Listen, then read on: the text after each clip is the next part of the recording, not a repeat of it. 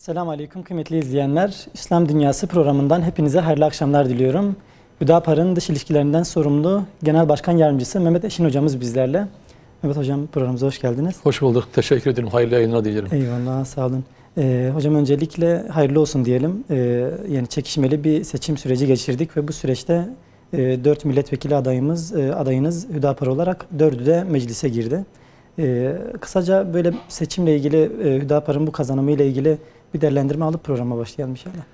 Ee, tabii öncelikli olarak ekranları başına bizleri izleyen e, kıymetli izleyicilerimi Allah'ın selamıyla selamlıyorum. Ee, Türkiye gerçekten de belki asrının en önemli seçimini yaşadı. Tabii Türkiye'de bütün seçimler önemli. Hani önemsiz seçim yoktur. Fakat özellikle bu seçim e, hem e, Türkiye halkı için, Türkiye'nin geleceği için hem de ümmet coğrafyası için çok kritik, çok önemli bir seçim idi. E, elbette ki seçimler yine göre hayırda yarışma olsa bile e, gerçekten de e, sıkıntılı bir seçim süreci yaşandı. E, Türkiye'de şunu hep alışkınız. Aylarca süren bir seçim süreci, seçim propaganda, seçim çalışması olurdu. Fakat deprem vesilesiyle ki burada e, vefat eden e, insanlarımızı rahmetle anıyoruz. Gerçekten de büyük bir yıkımdı, büyük bir acıydı. 11 ili kapsayan, 13 milyon insanı etkilendiği, 50 bin üzerinde insanımız hayatını kaybetti. Kadın, çocuk, yaşlısı. Aynen. Ve e, yüz binlerce, milyonlarca insan evsiz kaldığı bir depremdi. E, dolayısıyla sıkıntılı bir süreç oldu. Belki bu süreç bazı açılardan iyi oldu. E, o gürültü, o masraflar, bayraklar şaşa olmadı. Bu da bir açıdan güzel oldu. Demek ki böyle de olabiliyormuş. E, ve e, belki Ramazan ara girmesiyle işte Ramazan'dan sonra özellikle hızlandı tabii bu seçim propaganda seçim çalışmaları. E, çok şükür e, hayatını kaybeden çok acı olaylar yaşanmadı. Ama işte bizim seçim bürolarına, lokallerine saldırılar oldu. Bazı kardeşlerimiz, üyelerimiz yaralandı. Hastaneye kaldırıldı. Sonuçta çok şükür e, kazasız belasız seçim süreci atlatıldı. Ve tabii Hüdapar e, ilk defa e, meclise girmiş oldu. Gösterilen dört adayın da dördü elhamdülillah e, halkımızın oylarıyla e, meclise girmeye hak kazandı. İnşallah kısa süre içerisinde, birkaç içerisinde sonuçlar kesinleşir ve e, bu e, kardeşlerimizle milletvekili olarak, halkımızın vekili olarak meclise girer. E, halkımızın sorularını, problemlerini, sadece Türkiye değil, şu an e, malumunuzdur, bunu iyi biliyorsunuz. İstanbul, ümmetin ilan edilmemiş bir başkentidir. E, dünyanın birçok mazlum coğrafyasından, İslam ümmetinin farklı noktalarından, e, mazlumlar, muhacirler, yine göre akademisyenler, alimler, tüccar, çok farklı kesimlerden çok nitelikli bir kadro var. E, dolayısıyla belki bunların da sorunlarını, problemlerini ki başta Filistin, Kudüs olmak üzere birçok noktanın sorularını, problemlerini Türkiye gündemine taşıma, Türkiye bu noktada daha aktif rol alması için inşallah diyoruz ki bu dört kardeşimiz bir parti, bir muhalefet partisi gibi inşallah orada e, alınan kararların e, doğruya evrilmesi, e, yanlışlara karşı durulması için inşallah önemli bir set olacağına inanıyoruz. Hayırlı olsun. E, tabii e, Cumhurbaşkanı Erdoğan da e, Genel Başkanımızın ifadesiyle başkan yaptırtacağız inşallah. 28 Mayıs'ta da ikinci tur seçimleri olacaktır. Tabi buradan da bütün üyelerimize, bütün e, gönüllerimize e, sandığa gitmelerini, oy kullanmalarını, e, kendi yakın çevresindeki insanlara, akrabalarına, tanıdıklarına, ulaşabildiklerine kadar insan var ise, telefon olur, mesaj olur, birebir olur, ziyaret olur, farklı yol yöntemlerle bu e, vatandaşlarımızın, insanlarımızın sandığa gitmesi ve son görev olarak Erdoğan'ı Cumhurbaşkanı yaptırmalarını buradan istiyoruz. Yani açıkçası e, Hüdapar'ın hakikaten sadece Türkiye'nin değil tüm İslam aleminin e, bütün ihtiyaçları için bütün e, yani acılarını paylaşacağını ve bu konuda en azından Türkiye e, yani meclisini bu konuda bilgilendireceği konusunda bir şüphemiz yok. Az önce bahsettiğiniz gibi Türkiye seçimleri sadece Türkiye değil tüm dünyayı etkiliyor ki özellikle Batı çok yakından takip etti bu seçimleri. Ayrıca yani bu konuda taraf oldu ve çok açıktan bir şekilde bu süreçte kendi tarafını belirtti. Yani buradan başlayalım isterseniz açıkçası Batı'nın e, özellikle emperyal e, düşünceye sahip olan e, Batı yönetiminin e, muhalefete açıktan bir şekilde desteği, iktidarı e, yani karalayacak şekilde propagandaları e, nasıl değerlendirmek gerekiyor? Bu şekilde açıktan yapmaları özellikle ne anlama geliyor? Yani tabii Batı dünyası e, ümmet coğrafyasını, coğrafyamızı rahat bırakmıyor. Ve bırakmaz da.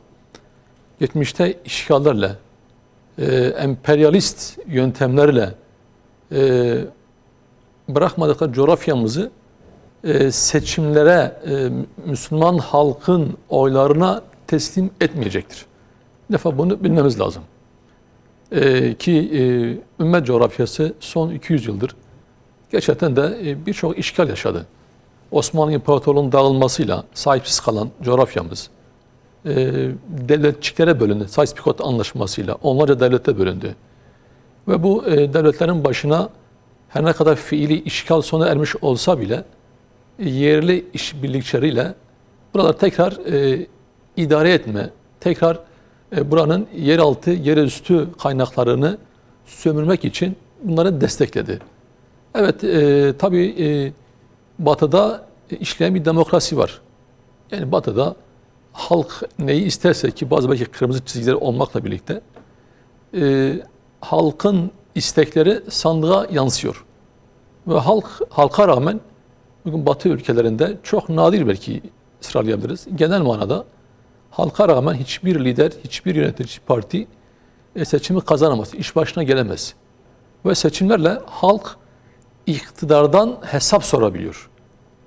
Tabii e, Müslüman ülkelerde de Müslümanlar bunu görüyor. Neden ülkemizde olmasın? Biz neden bunu yapmayalım? E, dolayısıyla e, göstermek de olsa bir demokrasi işletilmeye çalışılıyor. Yani Batı şunu söylüyor.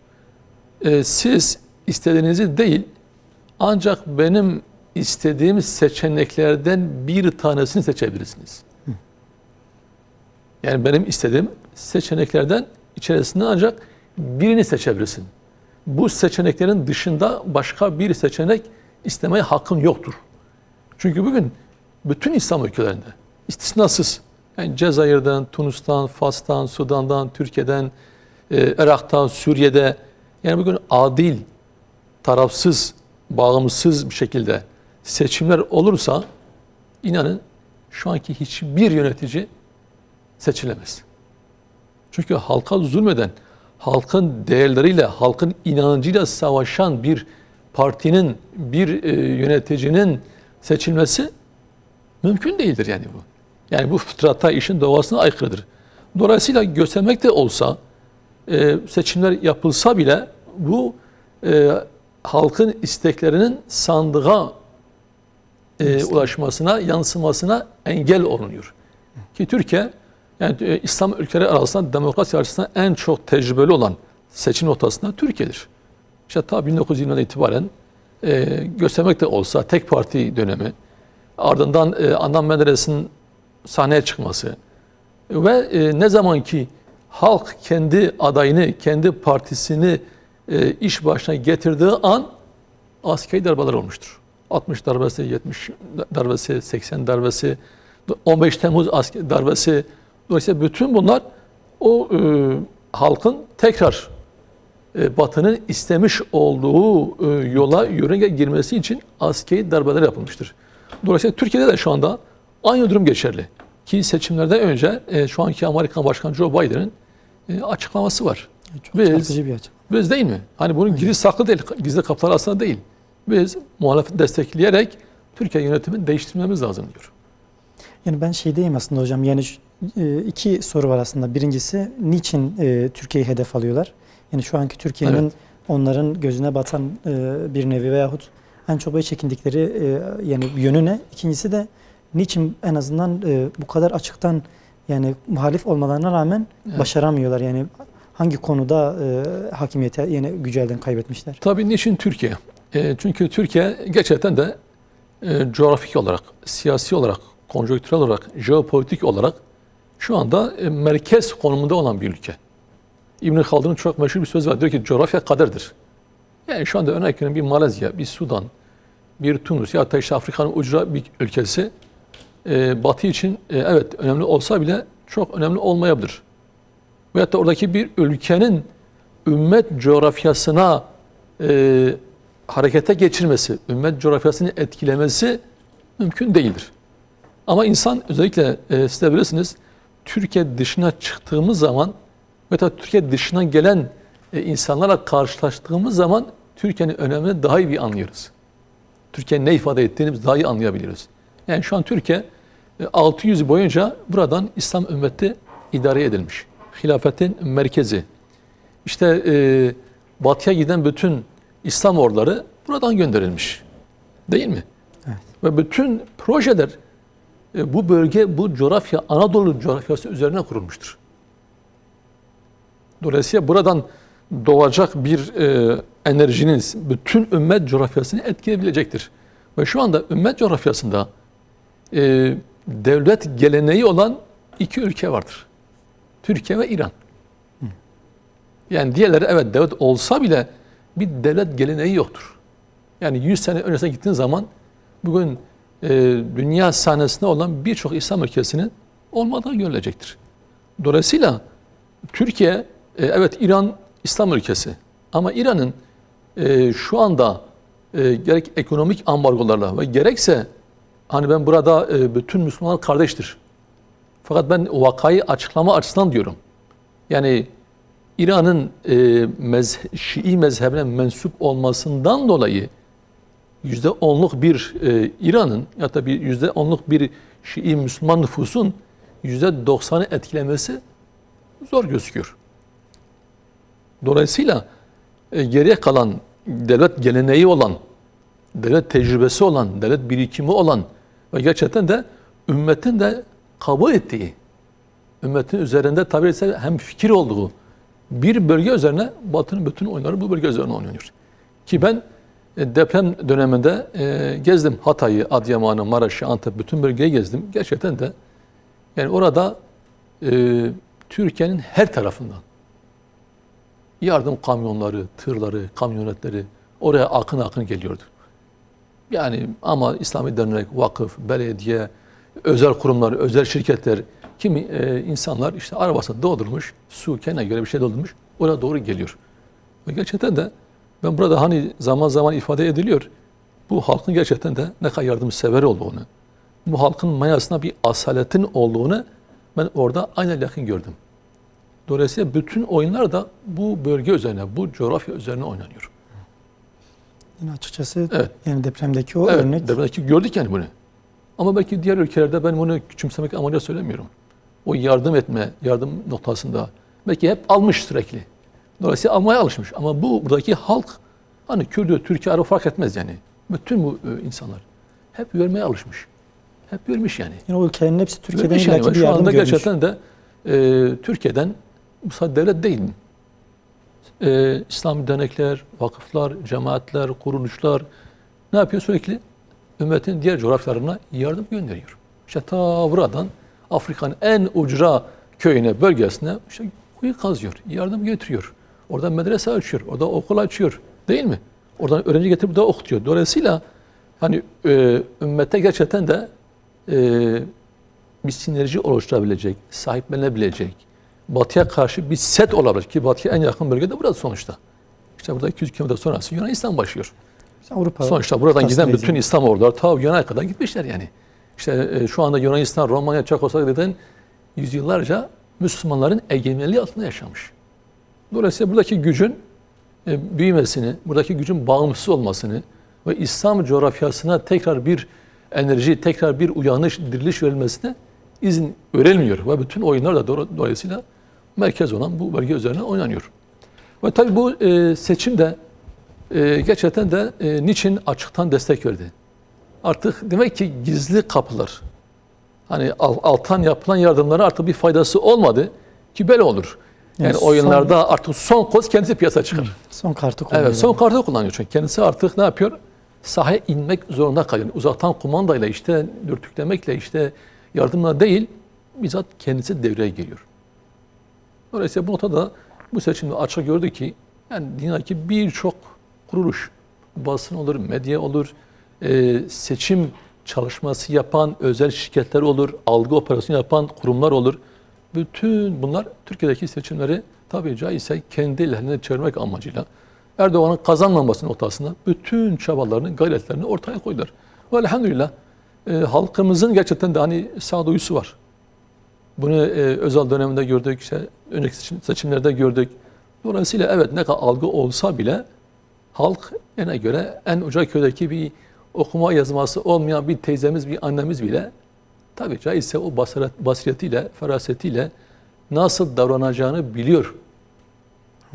Ve Elhamdülillah e, inşallah Teala bu seçimler önemliydi gerçekten de. Yani eğer bu seçimler onların istemiş olduğu gibi şekillenmiş, sonuçlanmış olsaydı tabii hani e, Allah'ın hesabını bilemiyoruz. O ayrı bir şey. Fakat zahiren gözüken Türkiye'nin tekrar bir 30-40 yıl belki 50 yıl geri gitmesi ve tekrar bu kazanımlarını elde etmesi için de bayağı bir sürenin geçmesi lazımdı. Ama elhamdülillah bu kursaklarında kaldı. Hem e, gerek e, Cumhurbaşkanı Erdoğan seçilmesi noktasında ve gerekirse Hüdapar'ın meclise girmesi noktasında. Çünkü Hüdapar'ın meclise girmemesi için çok çalışıldı. Özellikle şu algı oluşturma çalışıldı. E, işte e, Hüdapar AK Parti'ye bir şey kazandırmaz. Yani bir kazandırırsa üç kaybettirecek. Ki sonuçlar öyle çıkmadı. Hüdapar'ın güçlü olduğu yerlerde e, Erdoğan'a verilen oyların daha yüksek olduğu, AK Parti'nin daha çok oy aldığı ve e, belki bu seçimde e, AK Parti'nin e, milletvekili sayısını arttırdığı tek şehir Batman oldu. Subhanallah. Bütün bölgelerde birçok bölge düştü. Ya da yerinde saydı. Ama milletvekili bazında sayısını artırdığı tek yer bu da Batman oldu. Bu da herkes biliyor ki Hüdapar'ın Hüdapar'ın çalışmalarıyla. Hüdapar'ın oylarıyla, Hüdapar'ın gayretleriyle bu oluştu. Dolayısıyla hem de biz de e, bundan e, memnunuz. İnşallah Teala tabii bu e, yükümüzün ne kadar ağır olduğunu, sorunumuzun ne kadar büyük olduğunu da gösteriyor. Daha çok çalışmamız lazım. Daha çok koşturmamız lazım. Daha çok fedakarlıkta bulunmamız lazım diye düşünüyorum. Yani açıkçası e, az önce bahsettiğiniz gibi yani Türkiye'nin konumu itibariyle yani çok e, ayrı bir yeri var tüm dünya üzerinde. Yani seçim sürecinde yani İstanbul az önce bahsettiğiniz gibi hakikaten tüm dünyanın kalbi haline gelmiş. Özellikle İslam dünyasının. E, yani her birimiz muhtemelen çoğumuz böyle e, yabancılardan tanıdıkları tarafından böyle aranmış veyahut yani görmüşüzdür. Yani Türkiye e, bizim son umudumuz. Yani dünyadaki doğrudur. Bir Malezya var, bir Pakistan var, bir ne bileyim e, İslam ülkeleri var ama Türkiye'nin yeri ayrı görülüyor. Çünkü hakikaten nerede bir mazlum, nerede bir e, böyle İslam e, ülkelerinden, nerede bir böyle yerinden çıkarılmak zorunda kalmış biri varsa Türkiye onun yanında durmuş. Ve sadece e, muhtaç durumda olduğu zaman değil, Evet. bahsettiğiniz gibi deprem sürecinde Evet. destek de vermiş. Evet. E, yani belki en büyük e, korkularından birisi Türkiye'nin daha da bağımsızlaşıp İslam ülkelerine böyle örneklik teşkil etmesi, onları yani en azından abilik yapıp koruyabilmesi. Yani e, düşünün Raid? Sallah, Allah selamet verirsin. E, Mescid-i Aksa'da Kudüs'ü arkasına almış. Türkiye halkına sesleniyor. Diğer taraftan e, ümmetin seçkin olaması, e, işte Moritanya'dan, Tunus'tan, Fas'tan, Cezayir'den, Suriye'den, Irak'tan toplanmış e, Türkiye halkına Erdoğan destek vermesi için e, çağrıda bulunuyor. Fetva yayınlıyor. Bunu şer'i bir 65 görev olarak gö- görüyor yani. İlmi kuruluş sanırım. Ki e, e, seçimlerden hemen e, bir gün önce, cumartesi günü e, Irak Kürdistan'dan bir televizyon kanalı benimle röportaj yaptı. Ve şunu söyledi. Ya Gürtoya'nın e, televizyon kanalı Spida dedi ki vallahi bizim e, liderimiz Muhammed Bahattin Salahaddin Bahattin çağrı yapmış. Perşembe günü oruç tutun. Herkes oruç tutsun ve e, Erdoğan'ın kazanması için dua edin diyor. Subhanallah. Ve bu süreçte e, birçok yerden alim, e, hareket adamı mesajla göndererek dua ettiklerini söylüyor. Ki Gazze'de e, bombardıman altındayken orada bir e, tanıdığımız bir Filistinli dostumuz vardı. O da sizin için dua ederiz diyor. Gerçekten de duygulandım yani gözlerim yaşadı. Yani şu anda Gazze bombardıman altında ama o durumda bile Türkiye'deki kardeşlerini düşünüyor, Türkiye'nin durumunu düşünüyor.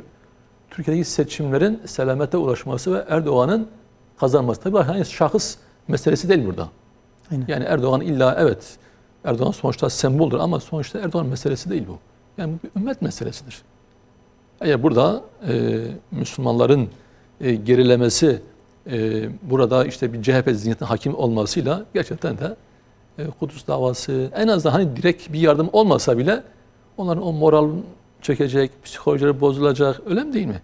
Tabii. Yani bu dahi önemlidir. Dolayısıyla elhamdülillah inşallah Teala 28 Mayıs e, pazar günü ki e, sonraki pazar, pazar sonraki pazarda inşallah Teala e, halkımız tekrar aynı özveriyle hani bir rahavete kapılmadan çünkü rahavet gerçekten de e, en büyük düşmandır. Rahavete kapılmadan oy kullanan herkes gibi tekrar oy kullansınlar ki bu tabi caizse en azından bunu bitirelim ve 5 yıla kadar inşallah bu var olan çalışma tekrar devam etsin. Yani seçmenin az önce bahsettiğimiz şeyleri göz önünde bulundurarak sandığa gitmesi gerektiği en azından e, yani sadece böyle ülkemizde şu gitsin bu gelsin değil hakikaten yani bir İslami düşünceyle hareket etmesi gerektiği o zaman mesajını almak gerekiyor. Evet. E, yani bir de diğer taraftan hocam hani e, hakikaten Türkiye'nin e, yani hangi e, yani durumlara düşebileceğiyle ilgili birçok örnek var ki Batı yani e, destek çıktığı kişilere bakıyoruz. Hemen komşu ülkelerimizde Tunus var. E, Kayseri'de destek çıkıyor. Oradaki Müslümanların durumuna bakıyoruz. Yani seçim, seçimle e, halkın e, yani oylarıyla gel, yönetime gelmiş veyahut ciddi bir e, yani meşruiyet kazanmış e, bir Nahda hareketi, bir e, Gannuşi şu an yani içerilere atılmış. Ne bileyim bir Sudan'da gene e, yani seçimle yönetime gelmiş bir yönetim Batı'nın desteğiyle tamamen yerle bir edilip darbelerle e, yok edilebiliyor. Yani bu planlar e, aynısı yani Türkiye'de de yapılmak isteniyor e, diyebilir miyiz bu denli e, yüksek boyutta? Yani yapıldı. Yani hani yapılmak isteniyordu yapıldı zaten bunlar. Yani şu an destek verdikleri evet, yani şu anda yönetimlerle. o ortamı, o fırsatı bulurlarsa şayet aynısını tekrar yapacaklar. Ki 15 Temmuz üzerinden çok fazla zaman geçmedi. Değil mi? Evet. Yani bu halkın oylara seçilmiş bir hükümet var, bir başbakan var. Öyle mi değil mi? Ve buna rağmen askeri bir darbe gerçekleştirilmeye çalışılıyor. Niçin? Halkın seçmiş olduğu o yönetimin iş başına alması tıpkı Mısır gibi. Yani Batı'nın derdi burada demokrasi değil, insan hakları değil, insanları zulümden kurtarmak değil. Aksine kendi menfaatlerini, kendi çıkarlarını koruyabilecek bir yönetimin orada hakim olmasıdır. Bakın Irak'ta evet Saddam zalimdi. Doğrudur bu. Bunu tartışmada gerek yok. Ama sonuçta e, Irak halkına özgürlük getireceğiz değil mi?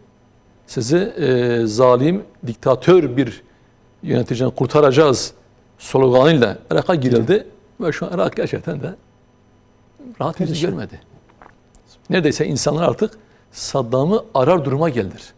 Suriye'ye bak görüyoruz. Mısır ki İhvan Hareketi rahmetli Muhammed Mursi yani yerliydi, milliydi. Mısır halkının bir evladıydı, seçkin bir evladıydı. Ve bütün düşüncesi, fikriyatı, çalışması Mısır halkının menfaati, çıkarı, Mısır'ın hak ettiği konuma gelmesiydi. Ama ne oldu? Askeri darbe yapıldı. Kimin desteğiyle? Batı'nın desteğiyle yapıldı. Eğer bunlar derdi demokrasi olmuş olsaydı Muhammed Mursi'nin heykelini dikmeleri gerekirdi. Tabii heykel bizde doğdu fakat sonuçta onlara göre heykelini dikmeleri lazımdı Yani yani. birçok Mısırlı diyor bizim o yani bir yılımız o ya Mursi dönemindeki Öyledir yaşadığımız bir yani. yıl yani çok farklı bir yılda hakikaten. Yani gitmişler rahmetli Erbakan'a karşı. Sonuçta e, dolayısıyla bunların derdi demokrasi değil. Bunların derdi oradaki menfaatlarının çıkalarını devam ettirecek bir sistemin olmasıdır. Yani şu anda örnek veriyorum Erdoğan eğer dese ki ya ben Batı ne diyorsa ben bunu yapacağım. Ne diyorsa ben bunu yapacağım. İnanın Erdoğan kahraman ilan ederler. Ama dolayısıyla Erdoğan ne yapıyor? Bağımsız bir Türkiye'yi istiyor. Yani askeri anlamda, siyasi anlamda, ekonomik anlamda bağımsız olan bir Türkiye. Hatırlıyorsanız belki yaşınız muhakkak hatırlıyorsunuzdur. IMF'nin bir memuru geldi, bir şefi gelirdi. Türkiye'ye tabii caizse hükümetine böyle talimat verirdi. Şunu yapın, bunu yapın. Siyasete karışırdı. Şuna bakın maaş vermeyin. Kültürel, eğitim, Ona askeri bağlıyız. anlamda birçok noktada talimat verirdi. Dolayısıyla tekrar öyle bir Türkiye istiyorlar. Zayıf bir Türkiye.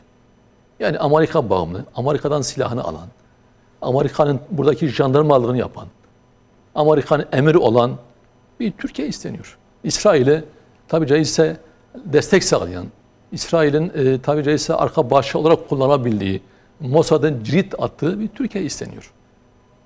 Dolayısıyla bütün bunlar e, kesildiği için da kesilmeye doğru gittiğinden dolayı Batı bundan endişe ediyor.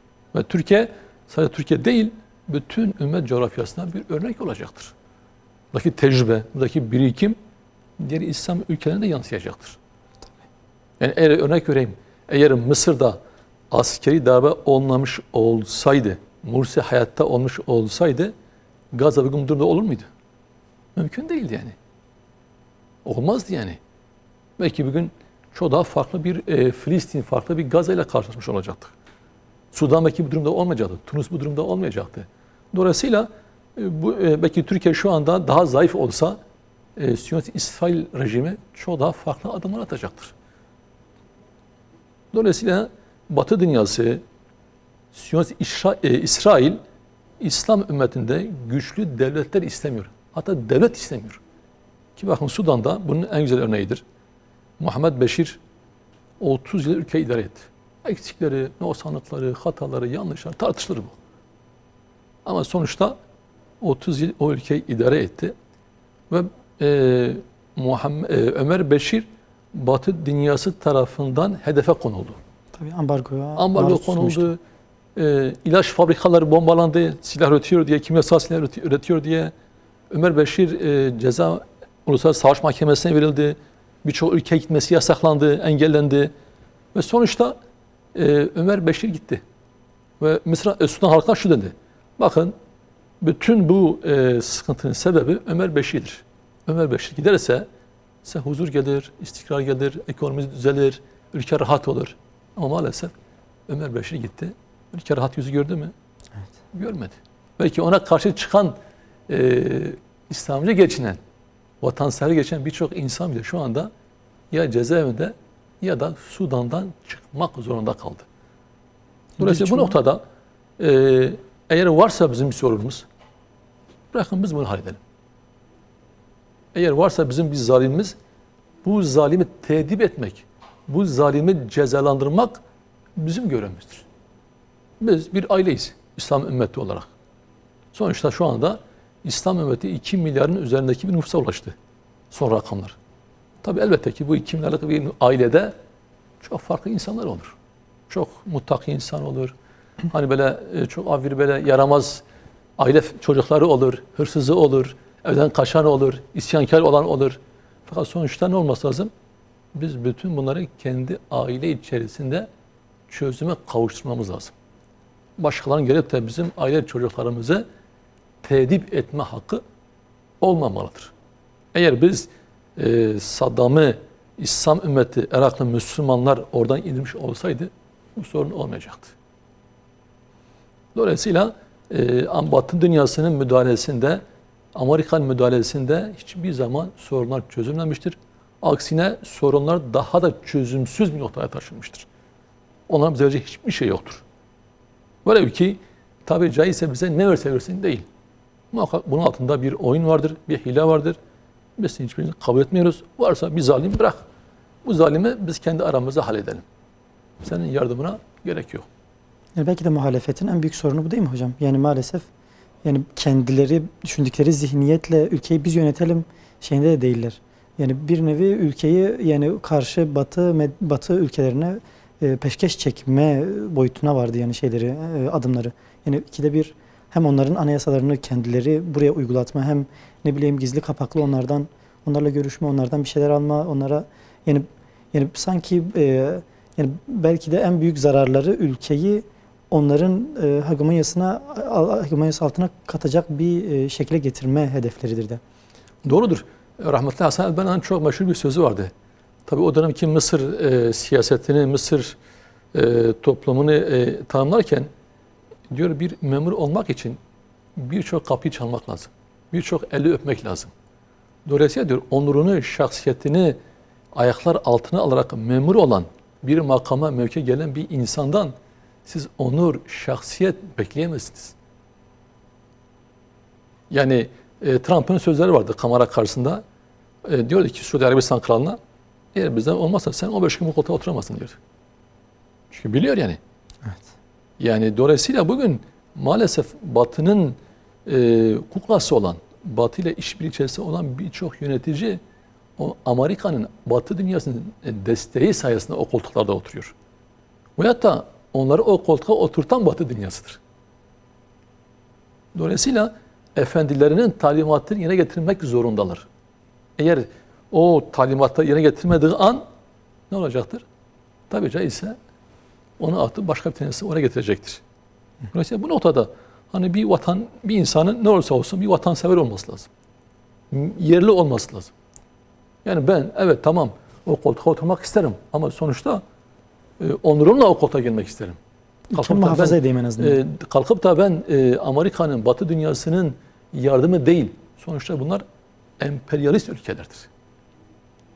Yani hiçbir şekilde öyle insani, vicdani, ahlaki kuralları, ilkeleri yoktur. Bunu Afganistan'da gördük, e, Irak'ta gördük, Cezayir'de gördük, Sudan'da gördük, her tarafta görüyoruz. Dolayısıyla bu insanlar eğer birine yardım ediyorsa muhakkak ki bunun altında başka planlar vardır. Ve maalesef de işte biz o koltukta oturalım da ülke m, dağılmış, ülke bitmiş hiç önemli değil. Yeter ki biz koltuğumuzu, makamımızı, mevkimizi muhafaza edelim. Evet yani açıkçası bir de yine ABD ile ilgili e, ABD açıkçası yani mesela eski dönemlerine baktığımızda en ufak bahanelerle Irak'a girmiş, Afganistan'a girmiş veya diğer e, İslam ülkelerine yani direkt e, askeri müdahalede bulunmuş. Bir düşük boyutta en azından böyle kendi oturttuğu bahsettiğiniz yöneticilerle ülkeyi karıştırmış bir e, yönetim.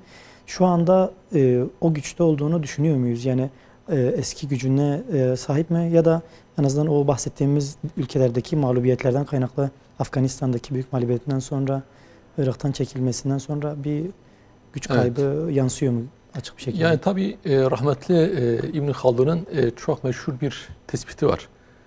Diyor işte devletler de, medeniyetler de insanlar gibidir. Doğar, büyür, yaşlanır ve ölür. Dolayısıyla Amerika'da şu anda e, gücünün zirvesinde. Gerçekten de ekonomik, siyasi, askeri, politik, basın, medya, uzay, elektronik dünyasında gerçekten dünya lideri. Hani bunu inkar etmiyoruz. İşte ta on binlerce kilometre öteden dünyanın her tarafına tabii ise müdahale edebiliyor. Yani kendi bir şehrinde, kendi bir e, mahallesinde operasyon yapar gibi dünyanın başka bir ucunda, bir ülkede, bir mahallede, bir şehirde, bir e, dağın başındaki bir yere operasyon yapabiliyor, müdahale edebiliyor. E, elindeki imkanlarla, basın medyasıyla e, tabii caizse ülkelerde e, hükümet değiştirebiliyor. Devrim yapabiliyor, askeri darbeler yaptırtabiliyor. Fakat bu gücün de sonuçta e, bir noktada gücü bin sınırlı yani bir yere kadardır. Eğer bu hani e, bu gücü e, çok fazla abartmada gerek yoktur. Bazen çok abartılıyor. İşte Amerika'dan habersiz bir şey yapılamaz, izinsiz bir şey yapılamaz. İşte Amerika çekilmişse Afganistan'da bunun altında başka bir oyun vardır, başka bir hile vardır. Değil ya.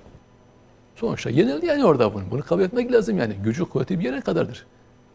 İşte e, Irak'tan çekildi. Çekilmek zorunda kaldı. Ha oyunları biter mi? Bitmez elbette. Kendine göre farklı oyunlar, farklı entrikalar peşine koşar. Bu ayrı bir olay. Ama sonuçta Amerika yenilir. Yenilemez değildir. Bunun derken de Amerika'nın gücünü de küçümsememek lazım. O gücü de görmek lazım yani. Dolayısıyla son yıllarda Amerika gücünün zirvesini yaşadı. Ve şu anda artık hani Kemal'dan sonra zeval vardır. Eğer bu olmasa Afganistan çekilmezdi. Vietnam'dan çekildik. Çıkmak zorunda kaldı artık öyle bir noktaya geldik çıkmak zorunda kaldı. Dolayısıyla bu noktada işte Türkiye'de isteseydi işte Erdoğan'ın hükümet olmasına, tekrar seçilmesine engel olabilirdi. Yani. Ama olamadı demek ki bak. Ha bütün imkanlarını yaptı mı ne yapabilirdi? İşgal edebilirdi.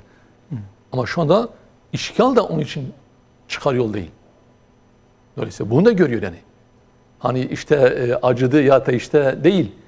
Gücü yetmiş. işgal etmenin onun için de zararlı olacağını biliyor yani. Yoksa işgal yapar. Farklı yollara girer. Dolayısıyla bu noktada Amerikan da artık yavaş yavaş gücünün zirvesine geldi. Bundan sonra yaşlılık ve en sonunda artık zevalla sonuçlanacaktır bu. Bu sünnetullah'ın bir kural kaidesidir. Hiçbir güç ilelebet ayakta kalamaz. Ama önemli olan burada bu gücün yerini Müslümanların doldurması. İşte Çin dolduracak, Rusya dolduracak, Hindistan değil. Önemli olan Müslümanların bu e, gücün yerine geçmesi. O yüzden Müslümanların bu gücü alt etmesidir. Belki de en çok buradan dolayı Türkiye'ye karşı durmak İşte istiyor. ondan dolayıdır. Türkiye bir kendi gösteriyor artık hakikaten. Aynen öyledir. Ki ben hatırlıyorum e, Türkiye deprem m, Düzce İstanbul depreminde, İzmir depreminde gelen yardımlar o dönem memurların maaşı için kullanıldı. Ecevit döneminde.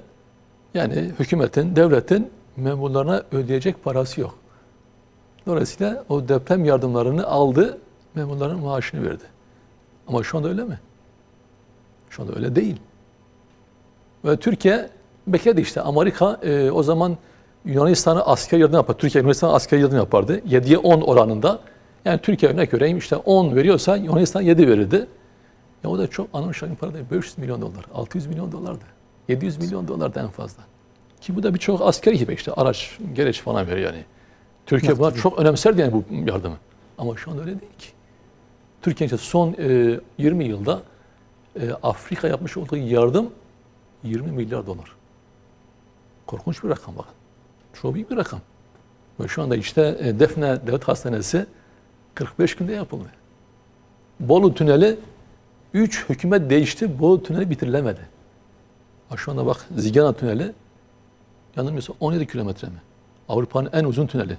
Tam rakam bakamda değil. Zigana Tüneli Avrupa'nın en uzun tüneli bakın. Barajlar yapılıyor, havalanlar yapılıyor, yollar yapılıyor. Sonuçta bu ülkenin kalkınmasına vesile oluyor. Kendi tankını, topunu, uçağını, gemisini, füzesini yapan bir Türkiye olduğu zaman Amerika muhtaç kalmayacak. İşte Amerikan yaptığı diyor ki e, müttefikiz. NATO'da aynı müttefikiz, askeri pakta üyeyiz. Fakat ben sana parayla dahi olsa silah vermeyeceğim. Hava savunma füzesi satmayacağım, vermeyeceğim diyor. Ama benim ihtiyacım var, vermiyorum diyor. Tamam o zaman ben de Rusya'dan alırım, alamazsın ondan da diyor. Düşünebiliyor musun yani? F-35 hava uçağı Türkiye bunun ortağı parasını ödemiş. Yani üreticisi ortağıdır.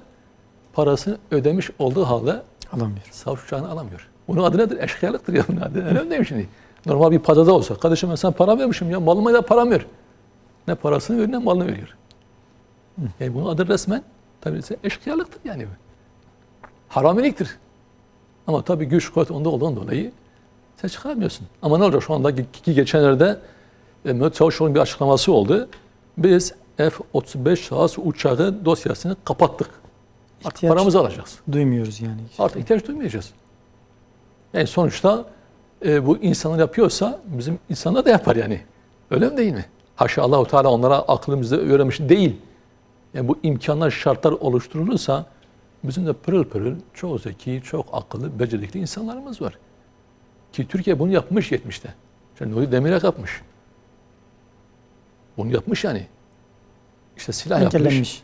E, fakat maalesef bunlar kapatılmış yani ve e, eğer siyasi destek olmazsa, siyasi iradenin gücü, kuvvetini e, arkasına almazsa hiçbir proje başarıya ulaşamaz. Yani örnek veriyorum şu an sancak e, bayraktar İHA'ları hükümet değilse, dese ki ben sizden uçak almayacağım. İhracata da izin vermiyorum dese bitti gitti işte. Değil mi? Bitti yani. yani. Şey gerek yok. İlla gidip kapısına kilit mi vurmasına gerek yok. Sonuçta satışını engellediğin an bitecek yani. Ne yapacak? İşte soba fabrikası yapacak. Kalorifer fabrikası yapacak. Mecburen bunu yapacak. Dolayısıyla siyasi irade olması lazım. Elhamdülillah yani bütün bu oyunlar, bütün bu entrikalar, bütün bu hileler, bütün bu algı operasyonları elhamdülillah işe yaramadı. Bu da allah Teala'nın bize bir lütfu keremidir. Ben buna inanıyorum. Bu kadar dünyada mazlum insan dua etti. Ki gerçekten de hani e, bunu gördüğüm için söylüyorum. Yani her tarafından mazluma dua etti.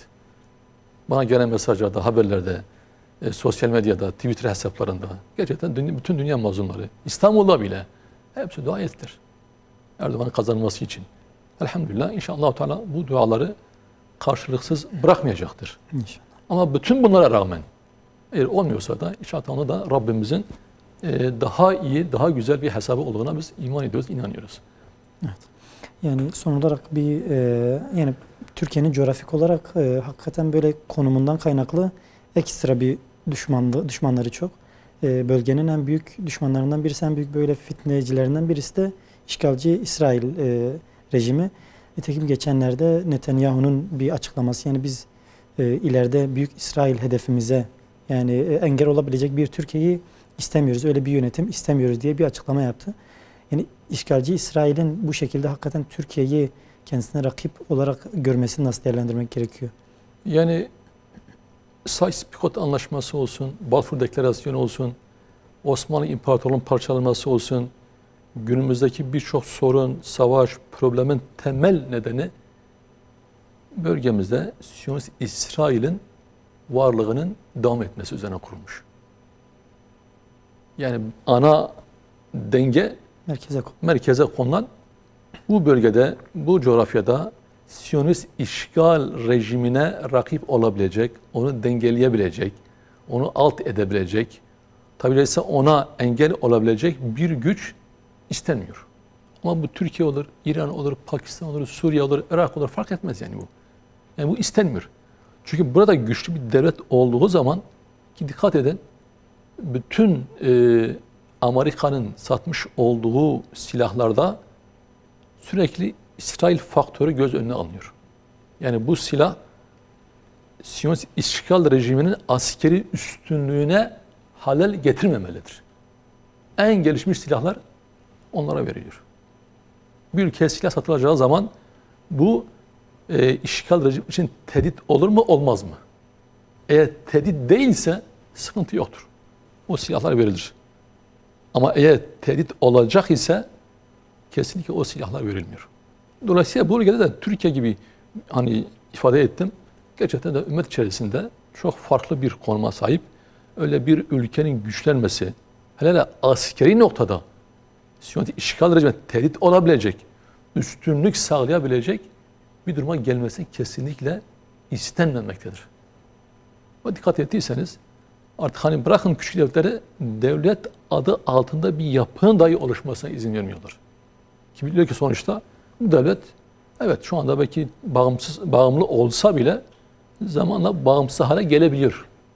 Dolayısıyla şu anda işte Sudan'a yapılan, Suriye'ye yapılan, Irak'a yapılan, Mısır'a yapılan ki bak Mısır İslam coğrafyasında gerçekten önemli bir ülke Araplar arasında. Arapların abisi, ağabeyi, Yani Arap lideri konumunda olan ülke yani Mısır. En parlak ülke. Değil mi? Ama bak ne hale getirildi şu anda. Tamam bitirildi yani şu anda. Mısır'ın hiçbir etkisi yok. İşte bir e, Suudi Arabistan, bir Katar, bir e, Birleşik Arap Emirlikleri neredeyse işte Mısır'dan daha prestijli bir konuma geldi. Dolayısıyla bu Mısır halkı için de bir utanç vesilesi. Araplar için de öyle yani. Dolayısıyla bu noktada işgal rejimi sürekli dediğim gibi bütün hesaplar, bütün planlar, bütün e, tabi ise oyunlar işgal rejimine engel olabilecek, onu dengeleyebilecek, onun için tehdit olabilecek hiçbir ülkenin varlığına izin verilmiyor. Eyvallah hocam. Yani son ifade edebileceğiniz bir e, şey varsa onu da alıp. Tabii önümüzde dediğim gibi seçim var. E, bütün e, halkımızdan, üyelerimizden, gönüllerimizden seçime, sandığa gitmeleri, oylarını kullanmaları ve tabii şu anda da hep ifade ediliyor. Oy kullanmak yetmiyor. Sandıklarımıza, oyumuza sahip çıkmalıyız. Çünkü birçok oyun etrika döndü ve dön- dönecek tekrar. Aynen. Dolayısıyla bu noktada e, sandıklarına, oylarına sahip çıkması inşallah Teala, e, 29 Mayıs e, pazartesi günü inşallah Teala Erdoğan'ın Cumhurbaşkanlığını e, kutlayacağız. Hep beraber inşallah Teala şükür secdesi edeceğiz. İnşallah. Eyvallah hocam. Evet değerli izleyenler, e, bir İslam Dünyası programımızın daha sonuna ulaştık. İnşallah bir dahaki programda görüşmek üzere. Selametle kalın.